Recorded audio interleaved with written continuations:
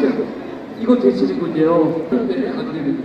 자, 몸좀 푸시고 편안하게. 여러분, 여기 있습니다. 우리 전현정 팀!